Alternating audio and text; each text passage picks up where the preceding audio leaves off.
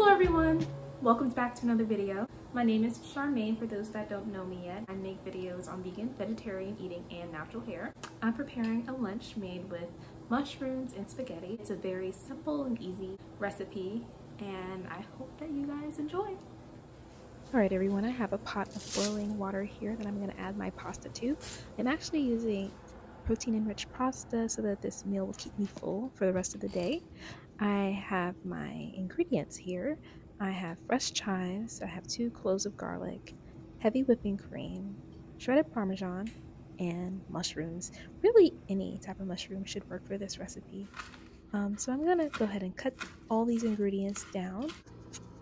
And excuse my awkward cutting in this video, like I was filming and for some reason I just could not get comfortable. Like I I was cutting like with the wrong hand and I didn't realize it until after I started filming. So don't judge me. Alright, so I have a pan heating up on the stove on medium heat and I'm adding some olive oil and I'm going to add my mushrooms. I let those for about 5 to 7 minutes until they're nice and brown. Here I'm adding in some seasoning. This is a mixture of um, garlic powder, onion powder, salt, and pepper. And then I'm going to let that cook until it's brown and the mushrooms start to soften up and release some of that water. Now you know it's time to add your garlic. So, add the garlic, let it cook and get a little fragrant. This should take maybe like two minutes, not that long. And the last step will be adding in your heavy cream. I'm using about a quarter cup and then two large pinches of Parmesan. Now reduce the heat to low and add in some cr fresh cracked pepper and give it a mix for about two minutes. And you'll notice that this sauce will start to thicken and get really creamy. And the last step is to add in the green chives and mix it in. Alright, and that's basically it. So now we're going to plate our dish.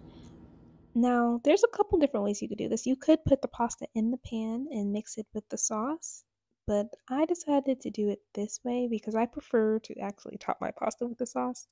So it's really up to you either way. All right, time for the final touches. I'm adding a little extra parmesan and a little extra chives just to the top of this just to make it look a little extra pretty. And we are done.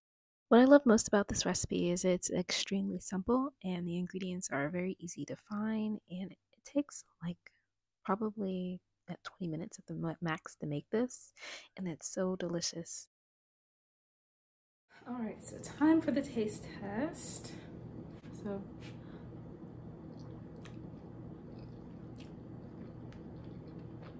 mm, mm, mm. And it's so good.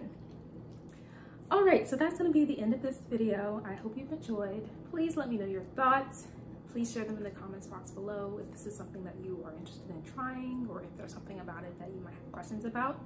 Definitely let me know. Thank you once again for watching and I'll see you guys in the next video. Bye.